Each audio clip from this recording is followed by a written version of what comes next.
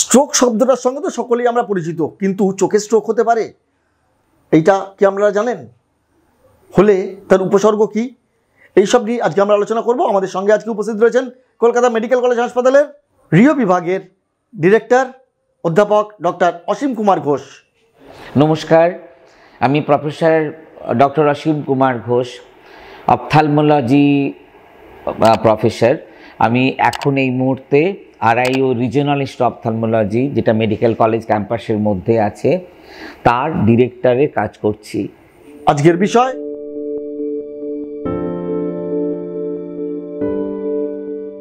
Stroke মানে তো আপনি জানেন যে মানুষের যাদের অতিরিক্ত রক্তের চাপ থাকে ব্লাড প্রেশার বেশি থাকে তাদের রক্ত চলাচলে যে নালীগুলো থাকে, তারা সংকুচিত হতে থাকে যত বয়স বাড়ে।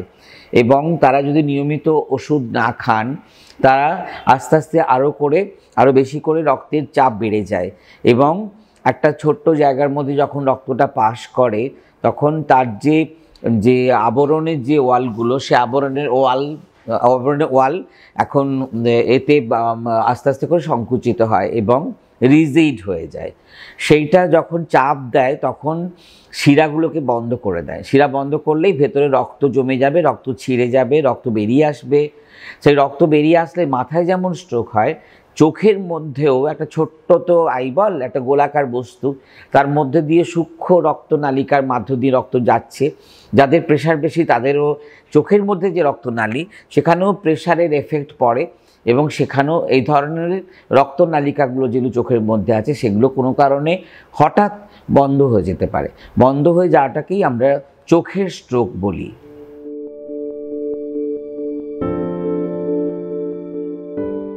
একদম হঠাৎ করে সে কম দেখল চোখে।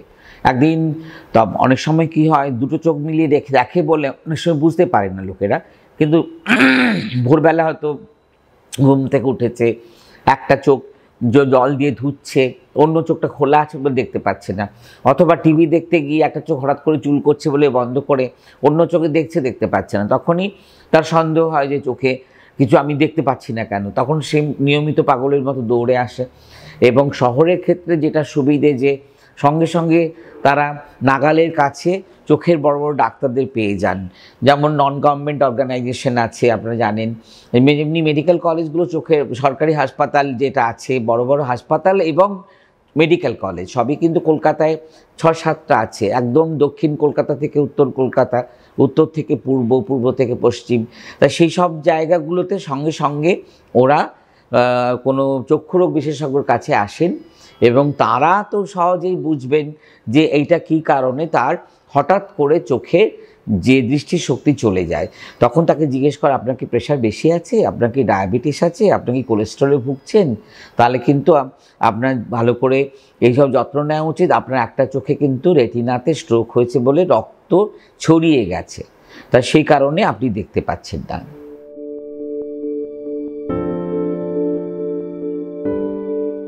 হ্যাঁ চোখেরও স্ট্রোকের ক্ষেত্রেও খুব সময়টা খুব একটা নিশ্চয়ই নিশ্চয়ই একটা গুরুত্বপূর্ণ কারণ ও দৃষ্টিশক্তি ফেরানোর ব্যাপারে। যদি দেখা যায় যে ধমনীতে যদি আটকে যায়, তাহলে কিন্তু সেটা উইদিন টু আওয়ার্সের মধ্যে কিন্তু আমাদের কাছে আসা উচিত এবং তার চোখের প্রেশার কমিয়ে দেওয়া উচিত। তাতে করে ধমনীর মধ্যে যে সমস্ত আপনার এইগুলো আছে, যে এম্বোলাস সেগুলো কিন্তু ছড়ে, ছেড়ে যেতে পারে। তখন চোখের চলাচলগুলো রক্ত চলাচল স্বাভাবিক হয়ে যায়। যদি ভেন আটকে যায় সেই ক্ষেত্রে আমরা জানি যে ভেনাস স্ট্রোক হলে আপনি যদি তাড়াতাড়ি আসেন, তাহলে আমরা তাড়াতাড়ি তাকে দেখে সঙ্গে সঙ্গে ট্রিটমেন্ট করি, তার প্রেশার কমাই এবং তার একটা রেটিনার ছবি নিই। রেটিনাতে ছবিতে তার এখন আরও বেরিয়ে, বেশি বেরিয়েছে রেটিনার স্ক্যান আগে শুধু চোখের স্ক্যান হতো, এখন রেটিনার স্ক্যান হয়। রেটিনার স্ক্যানে হলে আমরা রেটিনাতে কোথায়, কোন জায়গায় জল জমে আছে, কোন জায়গায় রক্ত জমে আছে, কোন জায়গাটা ফুলে গেছে স্ট্রোকজনিত কারণে সেইগুলো আমরা তৎক্ষণাৎ বুঝতে পারি এবং তাকে এখনকার দিনে বিভিন্ন রকম চিকিৎসা আছে। চোখের ভেতরে ইঞ্জেকশন দেওয়ার, সেটা অ্যান্টিভিইজেফ সেটা দেওয়া হয়, আমাদের সরকারি হাসপাতালেও দেওয়া হয়, যেমন আপনার অ্যাক্সেন্ট্রিক্স লুসেন্টিস তারপরে আপনার রানি বিজুমাব এই সমস্ত ইঞ্জেকশন একটু দামি ইঞ্জেকশন কিন্তু সরকারের সহৃদতায় এখন গরিব মানুষ থেকে সবাই কিন্তু সরকারি হাসপাতালে সুযোগ পাচ্ছেন।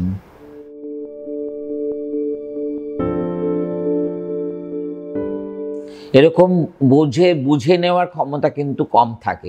ওই জন্য আমরা সবাইকে বলি আপনার যদি প্রেশার বেশি থাকে আপনার যদি আহ, রক্ত প্রেশার তার সঙ্গে আপনার যদি ডায়াবেটিস থাকে, তা আপনার যদি কোলেস্টেরল থাকে, তারা কিন্তু মাঝে মাঝেই চোখের ডাক্তারকে দেখাবেন। এবং চোখের প্রেশার চোখের প্রেশার ভেতরে যে প্রেশার ইন্ট্রাকুলার প্রেশার সেটাও কিন্তু একটা কারণে মানে চোখের স্ট্রোকটাকে বাড়িয়ে দেয়। তাহলে চোখের প্রেশারকে যদি আমরা আগে থেকে মানে কন্ট্রোল করতে পারি, তাহলে কিন্তু চোখের প্রেশারজনিত কারণে যে চোখ স্ট্রোক হওয়া, সেগুলো কিন্তু অনেক, অনেকাংশে আটকাতে পারি।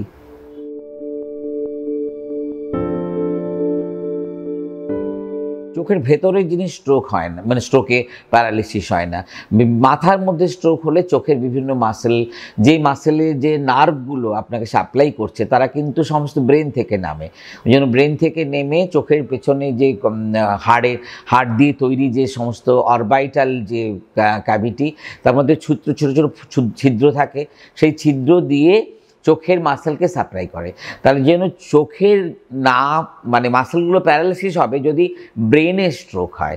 কিন্তু চোখের ভেতরে যদি স্ট্রোক হয় রেটিনা আমাদের দৃষ্টিশক্তিটা চলে যাওয়ার সম্ভাবনাটা সবচেয়ে বেশি।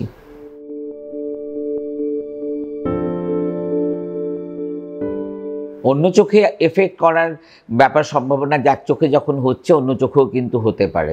সেটা যে কোনো মুহূর্তে হতে পারে। যাদের হয়েছে বা যাদের হয়নি, তাদের প্রত্যেককে তো আমরা মাঝে মাঝে দেখতে বলছি, চোখটাকে দেখাতে বলছি। বড় যারা চোখের বিশেষজ্ঞ বা বড় হাসপাতালে যারা চোখ চক্ষুরোগ বিশেষজ্ঞের কাজ করছেন, তারা কিন্তু ভালো করে চিকিৎসা ব্যবস্থাটা ধরে নিতে পারবেন তাদের কাছে গেলে। তারা সমস্ত উপদেশ দেবেন। কিন্তু নিজে নিজে বোঝা কিন্তু খুবই অসুবিধে। নিজের ভাবতে হবে যদি তার ব্লাড প্রেশার থাকে, তার যদি ডায়াবেটিস থাকে, তার যদি চোখের প্রেশার কখনো বেশি হয়েছিল, তার যদি কোলেস্ট্রল থাকে, তার যদি স্থূলত্ব থাকে শরীরের খুব ওবিজ মানে মোটা সোটা ওয়েট বেশি বেমাই বেশি, তার কিন্তু একটা স্ট্রোক হয়ে যাওয়ার চান্স আছে।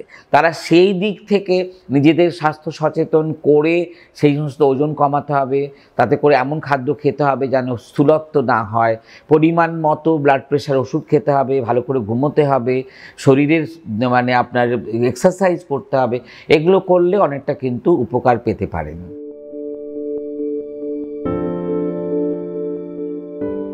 যদি ছোটদের হয় মানে ইয়াং বয়স, একদম ছোটদের হয় না। ইয়াং মানে ধরুন কুড়ি থেকে তিরিশ পঁয়ত্রিশের মধ্যে হতে পারে, যাতে হার্টের বিভিন্ন রকম রোগ থাকে। রিমাটিক হার্ট ডিজিজ বা মানে হার্টে যে ভাল্বগুলো যদি কোনো কারণে গণ্ডগোল হয়, সেখান থেকে যে সমস্ত অ্যাম্বুলেন্সগুলো আছে, সেগুলো কিন্তু ইয়াং পার্সনদের চোখের মধ্যে অসুবিধে করতে পারে স্ট্রোক করতে পারে। কিন্তু বয়স্কদের ক্ষেত্রে আমরা দেখেছি, বয়স্কদের ক্ষেত্রে এই চান্সটা অনেক বেশি এবং বয়স্ক মানুষ চল্লিশ থেকে আপনার ষাটের মধ্যে আপনার চোখের যত্ন এবং চোখের মানে পরীক্ষা করা প্রতি বছরে অন্তত দুবার করে দেখানো উচিত আমার মানে আমার মতে উপদেশ।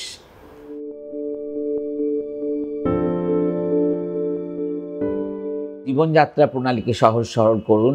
আপনার অতিরিক্ত পরিমাণ মেদ কমাতে হবে শরীরের এবং অতি মানে ঠিক মতো করে শারীরিক এক্সারসাইজ করতে হবে। আপনার খাদ্যে যেন বেশি মানে ফ্যাট স্নেহ জাতীয় পদার্থ না থাকে, আপনার ব্লাড প্রেশার থাকলে কন্ট্রোল করুন। আপনার যদি কোলেস্ট্রল থাকে কন্ট্রোল করুন, ওষুধ খান এবং যদি হার্টের কোনো অসুখ থাকে সেটাও দেখুন। ডায়াবেটিস থাকলে ভালো করে দেখান। থাইরয়েড থাকলে থাইরয়েডের চিকিৎসা করুন। এবং যাদের দেখা গেছে যে আপনার বেশি করে প্লাস লেন্স পড়ছেন মানে সেক্ষেত্রে প্লাস মানে প্রেস বায়োপিয়া বা হাইপারমেট্রোপিয়া ভোগেন, তাদেরও কিন্তু আমরা বলি যে চোখটা ভালো করে দেখান এবং আপনার তাতে করে সেই চোখগুলোতে কিন্তু অনেক সময় আমরা স্ট্রোকের অনেক অনুপাত বেশি পেয়েছি। অসংখ্য ধন্যবাদ। প্রফেসর ডক্টর অসীম কুমার ঘোষকে আমাদের সময় দেওয়ার জন্য আরও পরামর্শ পেতে ইউটিউবে দেখুন যে চ্যানেলটি আছে মেডিটিভসের সেইখানে আমার অনেক উপদেশ দেওয়া আছে, আপনারা সেটা ফলো করুন। ভিডিওটি ভালো লাগলে শেয়ার করুন এবং সচেতনতা বাড়িয়ে তুলুন। আর হ্যাঁ যারা মেডিটিভস ইউটিউব চ্যানেলটি এখনও সাবস্ক্রাইব করেননি, তারা সাবস্ক্রাইব করে নিন আমাদের এই ইউটিউব চ্যানেলটি। আর পাশে থাকা বেল আইকনটিকে প্রেস করে দিয়ে অল বাটনটিকে ক্লিক করে দিন, যাতে নতুন ভিডিও আপলোড করলেই নোটিফিকেশন পেয়ে যান আপনারা। এই ডাক্তারবাবুর সঙ্গে যোগাযোগ করতে বা কলকাতা সহ ভারতের চিকিৎসা ও বাণিজ্য সংক্রান্ত যে কোনো বিষয়ে সহায়তার জন্য যোগাযোগ করুন আমাদের সঙ্গে এই ঠিকানায়। আমাদের phone number plus nine one nine double three zero two four zero seven six two আবার বলছি plus nine one nine double three zero two four zero seven six two আমাদের email ID mail meditips at the rate gmail dot com এছাড়াও Meditips নামে YouTube ও Facebook পেজেও পাবেন আমাদের।